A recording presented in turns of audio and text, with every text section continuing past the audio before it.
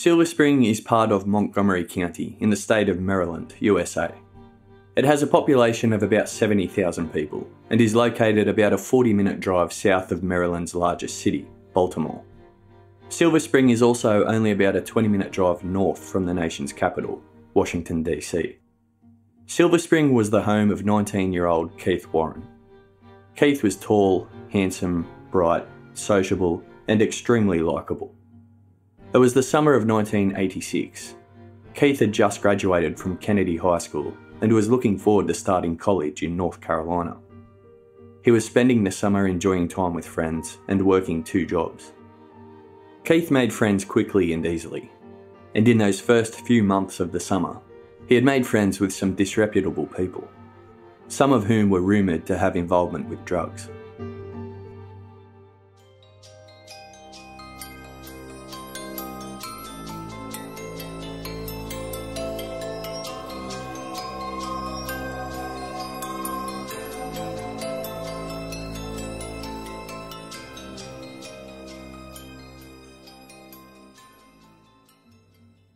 Keith Warren was born on the 9th of April 1967 in Kansas. His parents were Mary and Cleo Warren. A few months after Keith's birth, the Warren family moved to Durham, North Carolina. In August 1977, Mary and Cleo divorced. In 79, Mary moved to Silver Spring, Maryland, with Keith and his younger sister Sherry. Mary later remarried, becoming Mary Cooey. On the Tuesday, the 29th of July 1986, Keith was at home at 3810 Tremaine Terrace, Silver Spring. Keith still lived with his sister Sherry and his mother Mary Cooey. However, he was preparing to move back to Durham to attend North Carolina Central University. Keith's father Cleo still resided in Durham, where he was a major in the Durham Police Department. Keith hoped to mend his relations with his father, that had suffered since the divorce, almost 10 years earlier. That Tuesday, Keith received a phone call, after which he left home to hang out with some friends. When he hadn't returned home the next day, Mary started making some calls around town, but she struck out. No one had heard from Keith or knew where he was. Mary called the Wheaton Glenmont station of the Montgomery County Police. She didn't have any luck there either. They said they couldn't take a report until Keith had been missing for 48 hours. On Thursday, the 31st of July 1986, two days after Keith had gone missing, EMTs and paramedics from the Kensington Fire and Rescue Station responded to a 911 call. The call was made by Claudia Lawson, who said there had been a suicide in the basement of 14655 Tynewick Drive, Silver Spring. This address is only about 320 metres west of Keith's house the occupant of 14655 Tynewick Drive was Chip Wynn. His girlfriend was the caller, Claudia Lawson, and there was a second male present at the house with them. Paramedics knocked on the door, but it took a while before anyone answered. Chip, Claudia, and the other male were having a discussion amongst themselves. When they did eventually answer, paramedics requested to be taken down to the victim. Chip, Claudia, and the other male said the victim wasn't in the basement he was in the woods, out the back of the house, only a short distance away. So paramedics requested to be shown where exactly the victim was in the woods, but Chip and the other male declined. They told Claudia to go. As Claudia escorted the paramedics, she explained that she had been walking her dog through the woods, and that that's when she came upon the victim hanging from a tree. When they got to the scene, they discovered the body of Keith Warren. There was nothing the paramedics could do for him, he had already passed away. They stayed back to preserve the scene and awaited the arrival of police. Officer Luther Leverett from the Wheaton Glenmont station of the Montgomery County Police arrived on scene. Not long after arriving, he said, Why would this have to happen on my lunch break? Detective Beasley attended the scene, and the medical examiner Dr. John Rogers was also notified. After a quick look at the scene and taking a few photos, Detective Beasley and Officer Leverett ruled the death as a suicide. The medical examiner, Dr. Rogers, agreed. The following is what Officer Leverett wrote in his report of the incident, and I'm reading his report word for word here. Investigation by the writer, Officer Leverett, revealed that the complainant, Claudia Lawson, while walking her dog, discovered the victim hanging from a tree. The complainant returned home and summoned the police. The writer arrived on the scene and observed the body of a young black male hanging via a rope with his feet on the ground in a sitting posture. Wheaton investigation was notified along with the county coroner. Detective Beasley and Dr. Rogers arrived on the scene. A neighbourhood was conducted by the writer and Detective Beasley, and ID was made by Rodney Lee Kendall, 3845 Tremaine Terrace, a fellow classmate. An attempt to notify the next of kin at the residence was negative. The next door neighbour, Barbara Nichols, 3812 Tremaine Terrace, was shown a picture of the victim and ID same. A work number for the mother was obtained, and the neighbour Nichols called and spoke with the mother and left a message to contact the writer. Examination of the scene by Dr. Rogers, Detective Beasley, and the writer showed no evidence of foul play. The victim had in his pants pocket a picture ID school pass with the name Keith Warren. The victim tied the rope to the base of a tree and made several loops. The other end of the rope was looped around a smaller tree and was thrown between the fork at the top and the noose was made. The victim apparently used the log to jump off, and his body weight completed his intent. I'll leave Officer Leverett's report there for now. I'll read the rest later in the episode. Next, let's hear the account of Dallas Lipp. Dallas Lipp was a firefighter with the Montgomery County and was also trained as an emergency medical technician, EMT. He had previously been a firefighter in the United States Air Force. He was assigned to medic at Kensington Station on the 31st of July 1986 and was among the first responders on scene prior to police arrival. The following is Dallas Lipp's account taken directly from his affidavit. I was assigned to Medic 7 at Kensington Station 25, and my unit was dispatched to an area in Silver Spring, Maryland, to respond to a call reporting a possible attempted suicide by hanging. When we arrived at the address given, there was no one waiting to guide us to the victim. When we knocked on the door, there was a long pause before anyone answered. The occupants, two males and a female, carried on some discussion among themselves about whether any of them had called and then told us the victim was back in the woods. One of them reluctantly escorted us to the site. As we approached the site, we determined from the appearance of the body that it was too late to assist the victim, as the colour of the skin and the facial features indicated that the victim had been dead for some time. The paramedic went alone to investigate further, while the rest of the team stayed back in order not to disturb the site. Our training as rescue workers taught us to be aware of potential criminal activity and preserve the site for police investigation. I was standing approximately 20 feet away from the body, from where I could carefully observe the scene while awaiting the arrival of police. My training as an EMT included training with respect to attempted hanging. It struck me that this was not the typical scene of a suicide by hanging. First, the body was hung from a small tree, about 4 to 6 inches in diameter, hardly sufficient to support the weight of the body, as the tree had bent over to the point that the victim's knees were flexed to approximately a 45 degree angle. Second, there was nothing at the scene for the victim to stand on or from which he could have jumped. Finally, the rope was fastened to the tree in an unusual manner. Running from the victim's neck through a fork in the tree that would have been about 8 to 10 feet off the ground had the tree been erect. Down to the base of the tree, where it wrapped around the tree a few times, and then it went horizontally about one foot off the ground, running across to a larger tree, approximately 20 feet away from the tree that suspended the victim. The rope appeared to me to be arranged in a way more conducive to hoisting a heavy load than for an attempted suicide. In fact, my impression at the time was that this looked like a lynching. When the police arrived, the officer in charge of the fire rescue response spoke to the police officer, explaining what we had found our actions to that point, and our unit identifications in case further follow up was required. I was surprised that we heard nothing further. We will leave Dallas Lipp's affidavit there. No autopsy or toxicology tests were performed.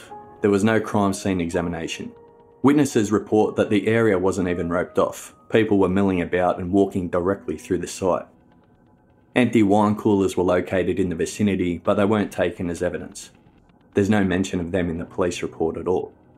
Keith's car was found parked in the car park of the Georgian Colonies Clubhouse, Silver Spring, where the community centre, swimming pool, and tennis courts are located.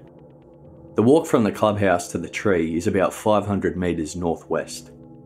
Police theorise that Keith parked his car at the clubhouse, then walked to the tree with the 40 foot long rope, his backpack with some cassette tapes, and the wine, where he then killed himself. In case you're wondering, yes, there were many closer spots to park his car. It's your average suburban neighbourhood. The reason why he decided to park where he did has never been able to be explained.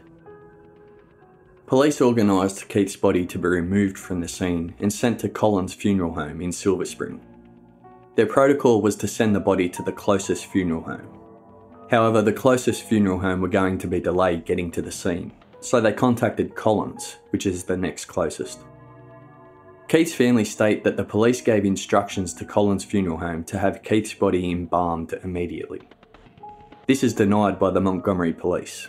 They state they did not order Keith's body to be embalmed, and that the embalming was not done until permission was given by Keith's family. This is denied by Keith's family, who state they never gave permission for embalmment. Keith's family hadn't even been notified of his death at this point. They had no idea what had happened. They weren't notified until hours later. Embalming is the art of preserving human remains by treating them with chemicals to prevent decomposition. Mary Cooey was at work and she did receive a call from the neighbour who Officer Leverett spoke to, Barbara Nichols. Mary worked as a pathologist at Walter Reed Army Medical Centre. Barbara was upset on the phone but wouldn't tell Mary why. All she would say is that Mary had to contact Officer Leverett. Mary made the call However, she was told Leverett was busy on another job and wouldn't be available for at least two hours. It was two hours later, now about five hours in total since Keith's body was found, that Officer Leverett visited Mary at work. He informed her Keith had committed suicide and asked if there were any reasons why he would want to end his life. Mary was distraught. She couldn't think of any reason for Keith to commit suicide. He had never displayed any signs of suicidal behaviour he had never harmed or attempted to harm himself. He had never even threatened to harm himself. He didn't suffer from depression. He was a happy teenager looking forward to college. In her distraught state, Mary tried to search for a reason and thought back to any disagreements there may have been. Officer Leverett placed this information in his report, which I'll read the rest of now. Again, this is word for word. Dr. Rogers released the body to Collins Funeral Home address 500 University Boulevard, Silver Spring. No autopsy was ordered. All evidence indicated suicide. On July 29, 86, the father called and told the son that he would be in Maryland on July 31st to take the car back. That was the last day anyone in the family saw or heard from the son. The victim felt that his father showed no love towards him and that his father was very demanding. While visiting his father nearing one year ago, the son had a nervous breakdown and spent four days in the hospital. The mother went to North Carolina and picked up her son and brought him back to Maryland. Shortly thereafter, the father bought the son a Corvette, which the mother fears gave the son a new temptation in life friends, girls, etc. The son lost his job on the 21st of this month. The car insurance was due in nine days.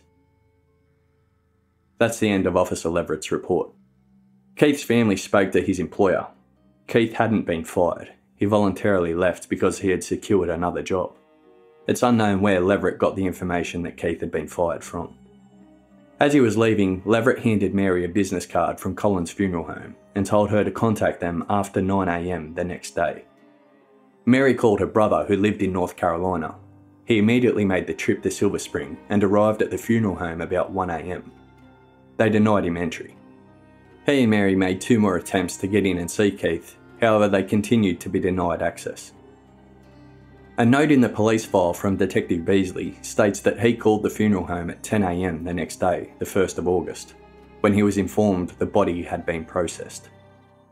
Mary and Keith's uncle weren't allowed in to see Keith until later that afternoon, the 1st of August. The embalming of Keith's body had already been completed by then, Mary requested Keith's clothes. However, the funeral home informed her they had destroyed the clothes he was wearing at the time of his death, as Keith's body was severely decomposed and had deteriorated his clothes. Keith's uncle then met with Officer Leverett. Leverett handed him a brown bag containing the 40 foot long rope, although the police kept the noose as evidence.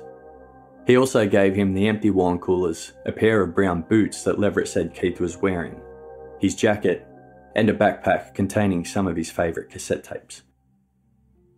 Keith's shirt, pants, and underwear were not handed over, the police confirming what the funeral home had said they had to be thrown out due to being destroyed by severe decomposition. Dr. John Rogers, the county medical examiner, also completed a report about Keith's death.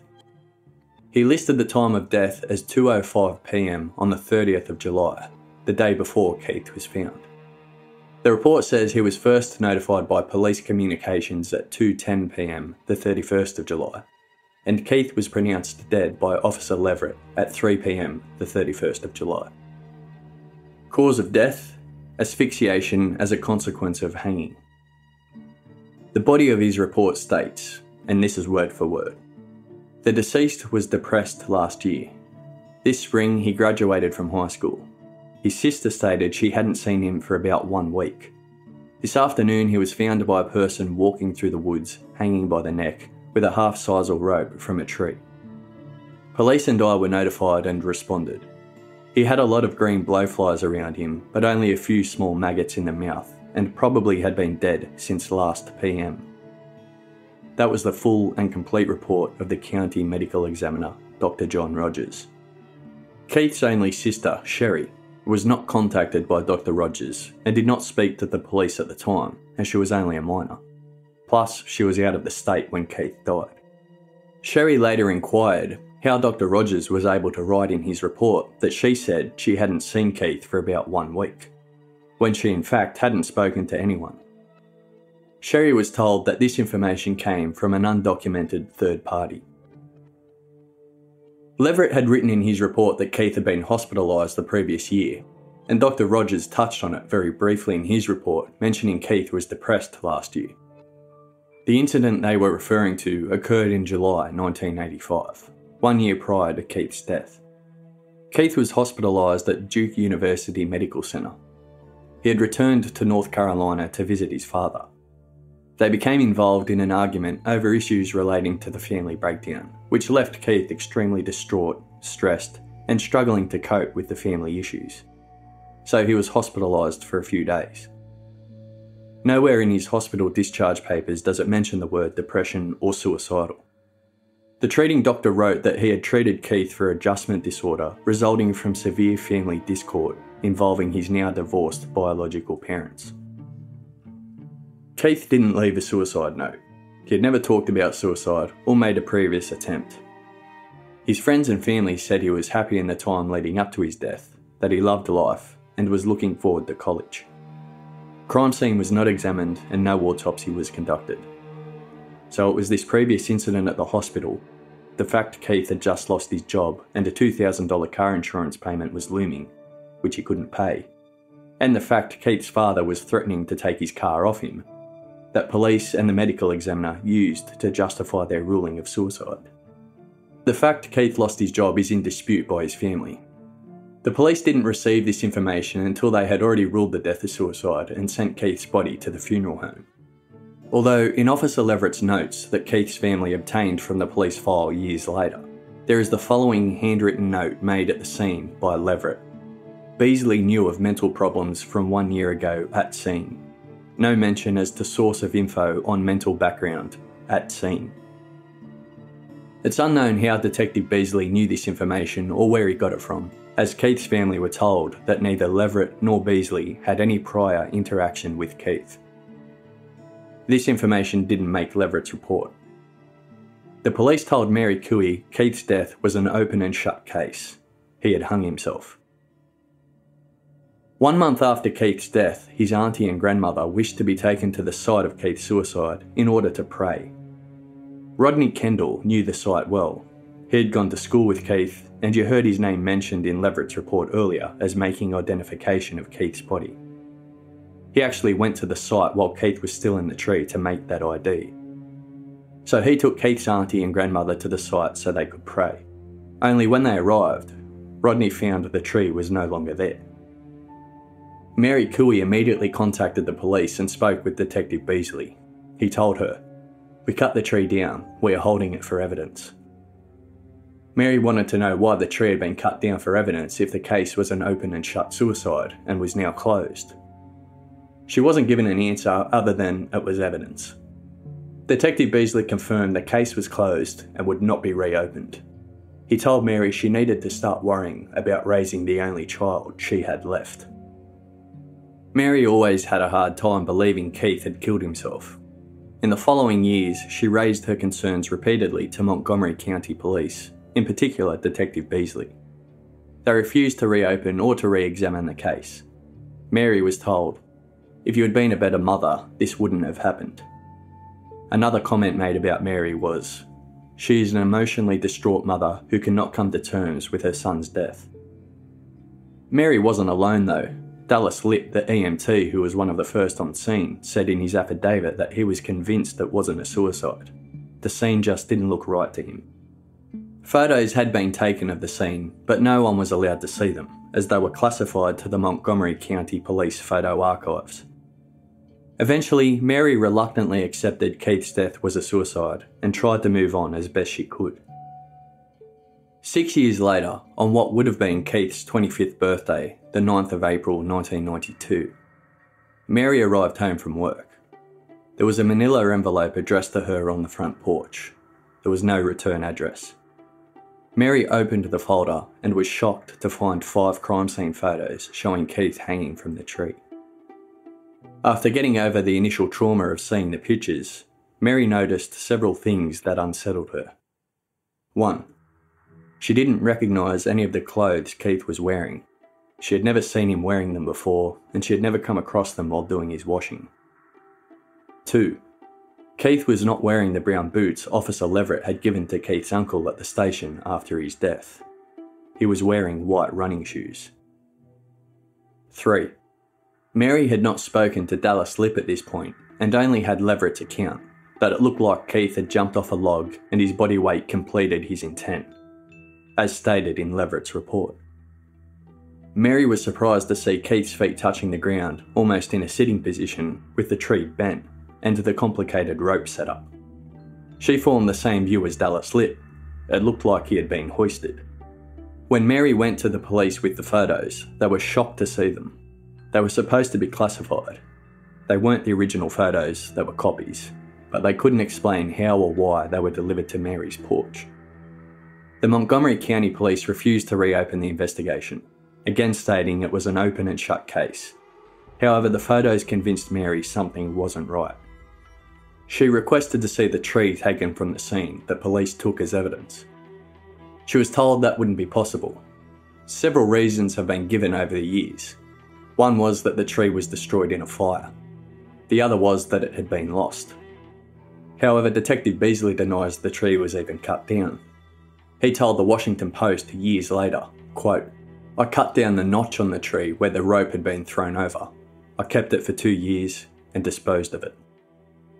Rodney Kendall and Keith's family are adamant the entire tree was cut down within one month of Keith's death.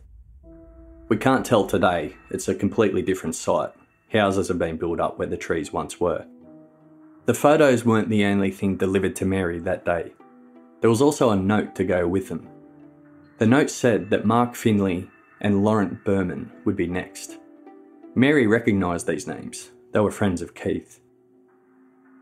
Mark Findley found out about the threatening note. He contacted Mary and left a message on her answering machine. He said, I will be by to see you. I need to unload.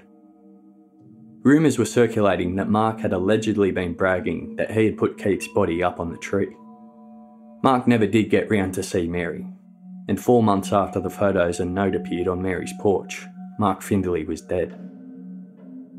Killed in what was called a freak bike accident, his bicycle hit the curb and he fell off and died. It occurred in the early hours of the morning.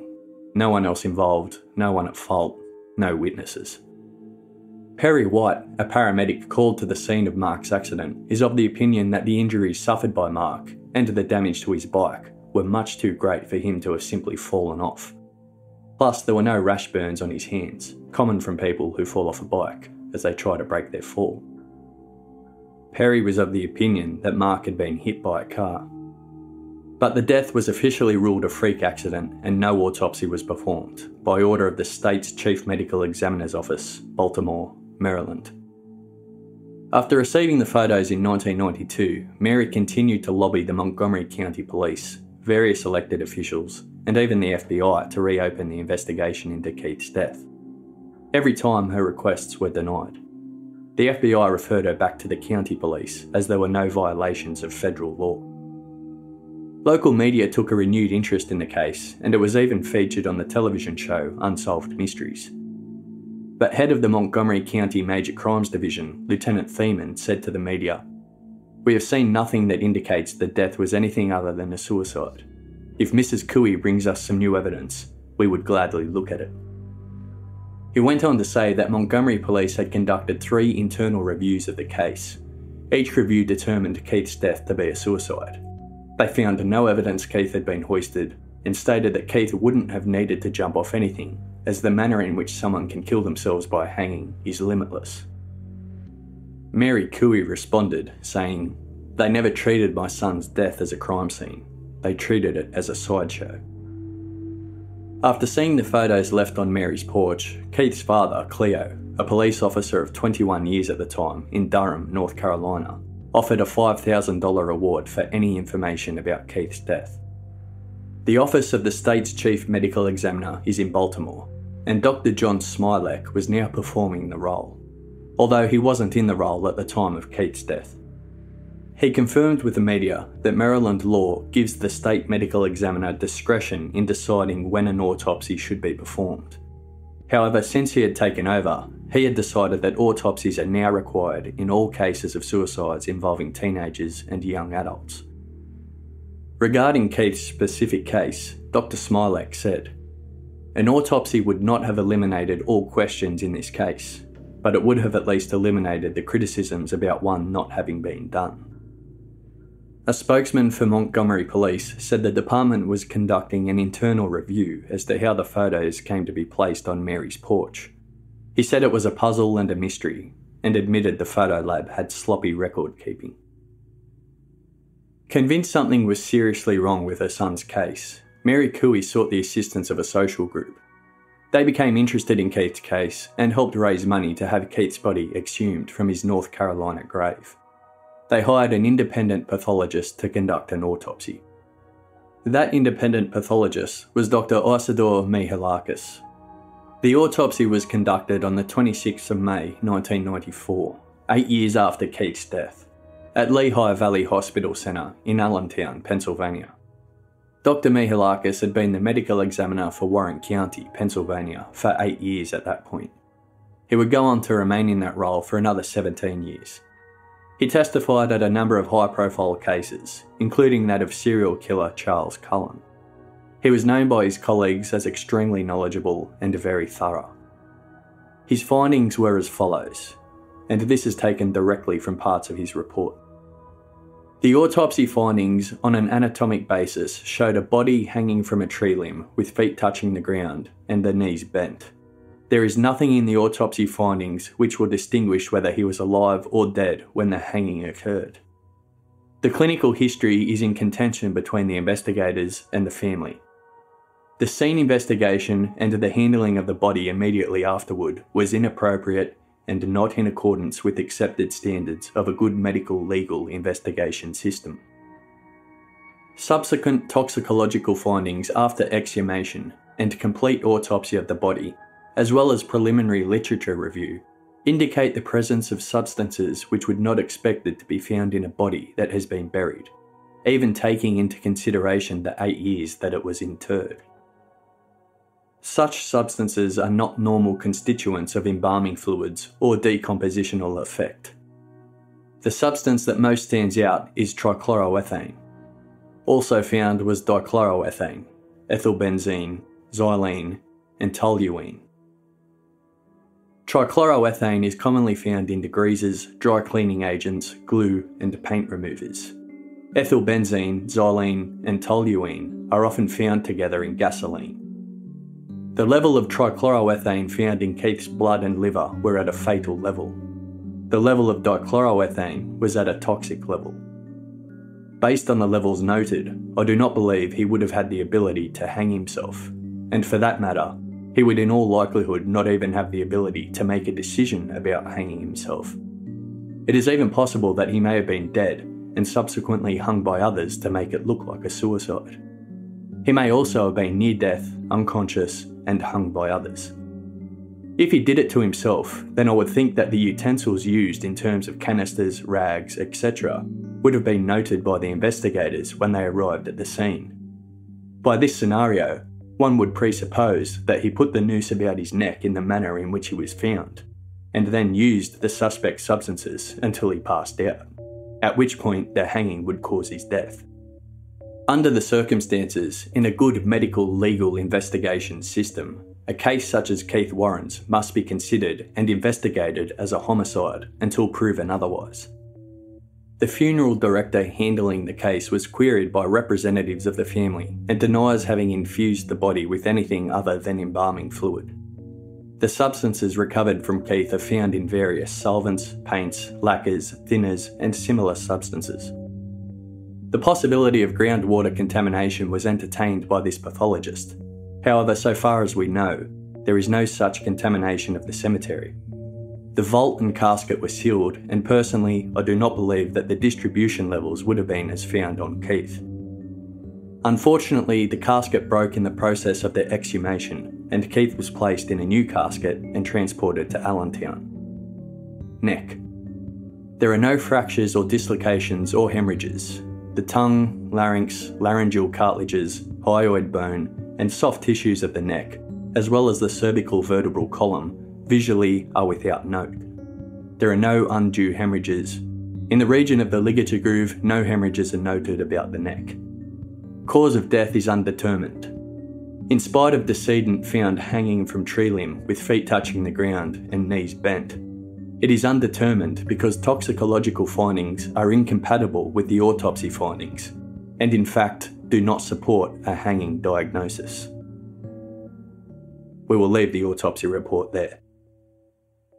So the substances found in Keith's body bothered Dr. Mihalakis.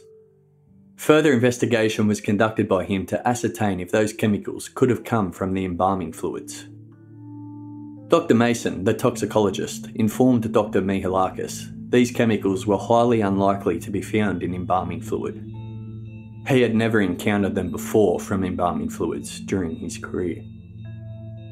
As a preliminary check, three embalming chemical companies were canvassed Arlington Chemical Company, Dodge Chemical Company, and Gold Bond Company. Each said no, those chemicals found in Keith don't form part of embalming fluid, and even if they did, it would be very remote they would get into the blood and liver. Keith was embalmed at Collins Funeral Home. Inquiries with them revealed that in 1986 they were using embalming fluids produced by Pierce Royal Bond Company and Dodge Chemical Company. Both companies provided affidavits declaring their embalming fluids do not contain any of the substances found in Keith's body. Dr. Mason also confirmed that higher levels of trichloroethane were found in Keith's brain, at levels three times higher than found in his liver and blood. As the trichloroethane was widely distributed through Keith's body, his brain, liver, and blood, Dr. Mason is of the belief the chemicals were in his body before Keith's death. A quote from Dr. Mihalakis The presence of these substances, they have no business being there. They are not products of decomposition and are thoroughly distributed throughout the body. The possibility exists that this young man was incapable of hanging himself. You need to put the district attorney on notice of these things. After the results of the autopsy were released, Mary Cooey told the Montgomery Journal I always wondered how he got on the tree and why he was wearing someone else's clothes. I would hope that this case would be looked at again. But Montgomery County Police Chief Clarence Edwards said a new investigation would not be granted. However, he did say he would pass the full autopsy report onto the Major Crimes Division for review. A spokeswoman for the department told the Morning Call newspaper that a copy of the autopsy report would also be sent to the State Medical Examiner's Office for review. Dr. Smialek. and if he felt there was some discrepancy between the autopsy and the outcome of the police investigation, then the case would be reopened. Dr. Smialek did review the autopsy report at the State Medical Examiner's Office in Baltimore. In January 1995, he released his findings. Keith Warren committed suicide. Contradicting the findings of Dr. Mihalakis, Dr. Smialek ruled that the chemicals were injected into Keith's body after his death. He said in his report, quote, It is my opinion that the toxicological findings are consistent with the effects of the embalming and body preparation process. The absence of any physical injury on the body supports the conclusion that Keith Warren's hanging was a self inflicted act. Dr. Smialek specifically mentioned Sanvino, a solvent that is applied to the skin to decontaminate bodies, as being the source of the chemicals. Although Mary Cooey said a representative from Sanvino told her that their product does not and never has contained the chemicals found in Keith's body. Mary didn't believe Keith's death was necessarily a homicide. She accepted it was possible he could have accidentally overdosed with other teens, who then panicked and staged a suicide to avoid any trouble with the law. Mary hired an attorney to file a civil action lawsuit against Montgomery County, citing police negligence and violations of both hers and Keith's civil rights. Unfortunately, the attorney she hired filed the suit three months after the statute of limitations on civil rights violations had passed, so the lawsuit was dismissed. In 1999, Mary petitioned the Montgomery County State's Attorney, Douglas Gansler, to look into the case. After spending two years going over the case documents and tracking down old witnesses, Gansler agreed to reopen the case, albeit it was left as inactive. So it wasn't being looked at, but if further information came to light, then it would be investigated. Gansler said, It seemed to me there were a lot of open ends, loose ends, regarding the investigation. Clearly, circumstances surrounding Keith's death had not been fully investigated. We still don't know definitively what happened on that day. In February 2003, Gansler sent a letter in response to a request for an update on Keith's case. I'll read from that letter now. In coordination with the Sheriff's Office for Montgomery County, Maryland, a very thorough investigation was conducted. It remains unsolved precisely how Keith Warren died on July 31, 1986. As we previously discussed, many witnesses were put before the grand jury in regards to Mr. Warren's death. Given the confidential nature of grand jury proceedings, we are not able to share specific details with you. However, I want to reassure you that the case remains open, albeit in an inactive status, and if any new leads materialise, we will pursue them. Signed Douglas Gansler, Montgomery County State's Attorney. The grand jury was news to Keith's family, they weren't aware there had been one, never notified. They weren't called to attend or give evidence at the grand jury. As the letter says, the proceedings of a grand jury are confidential, so we have no idea who was called and what evidence was given.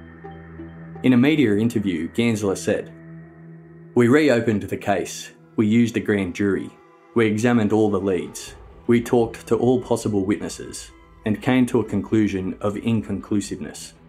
There are very strong arguments, having looked at everything in this case, that Keith Warren died of suicide.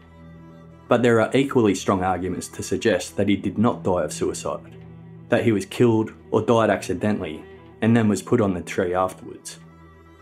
Then he was asked if it was his opinion that police botched the case. He replied, Under today's guidelines and procedures, this would have been botched. Still, the Montgomery County Police maintained they were happy with their investigation and to their determination that Keith's death was a suicide. Keith's family requested that the cause of Keith's death on his certificate at least be changed to undetermined. However, the State Medical Examiner's Office refused. Dr. Smialek was no longer the state's chief medical examiner. He died of a heart attack in 2001. Keith's family continued their fight, in February 2012, Dr. Muhammad Ali Al Bayati, a toxicologist and pathologist, conducted an investigation into Keith Warren's death. He has over 25 years' experience in both fields and has served as an expert witness in many medical legal cases. He has published over 50 articles in medical and scientific journals. After completing a thorough investigation of all of the evidence, he wrote in his report the following Keith had a lethal level of trichloroethane and a toxic level of dichloroethane in his blood, brain, liver, kidney, and muscles. The concentrations and the pattern of the chemical distribution in tissues indicate Keith received these chemicals about one to two hours prior to his death via ingestion, and they were likely mixed with alcoholic drinks. The ingestion of high doses of these chemicals led to vomiting, diarrhea, central nervous system depression, and aspiration pneumonia. Empty wine cooler bottles were found in the densely wooded area where Keith was found hanging from a tree. Alcohol increases the absorption of trichloroethane and dichloroethane from the gastrointestinal tract, which explains the presence of high concentrations of these chemicals in Keith's tissues. Both chemicals are very soluble in alcohol. Autopsy studies of suicide hanging cases have shown injuries to the neck soft tissues, bones, and organs in the majority of cases, and bleeding in the soft tissues of the neck in all cases. The autopsy showed no hemorrhages, soft tissue injury, dislocation, or fractures in Keith's neck. The lack of bleeding and injury in Keith's neck can be explained by the following medical evidence. Keith died as a result of ingesting a lethal dose of chemicals, Keith's body was lifted and put in a hanging position a few hours after his death, when the muscles of the neck became stiff due to rigor mortis. In 1992, Keith's mother received five crime scene photos showing Keith was hanging from a tree. She noticed that Keith was not wearing his own clothing, which indicates that key information for the investigation was missed. It is likely that Keith's body was washed after death and his clothes were changed because they became dirty with vomit and possibly with fecal materials due to the lethal doses of chemicals mixed with alcohol that Keith ingested. Embalming Keith's body also interfered with the collection of important medical evidence. The police and the county medical examiner missed the cause of death in Keith's case because they did not conduct the required standard medical legal investigation in his case. We will end the doctor's report there. Despite these findings, nothing has changed. The State Medical Examiner's Office still refused to change the cause of death on Keith's certificate. Montgomery County Police are still happy with their investigation and determination of suicide and will not re-investigate. Officer Leverett retired from the Montgomery County Police in March 2000 after pleading guilty to assaulting his girlfriend, second degree assault. Beat her, choked her, and banged her head against a wall during an argument as reported by the Washington Post.